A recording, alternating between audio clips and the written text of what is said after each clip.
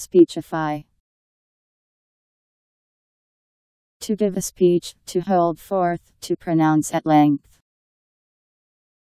To make speeches to someone, to address in a speech.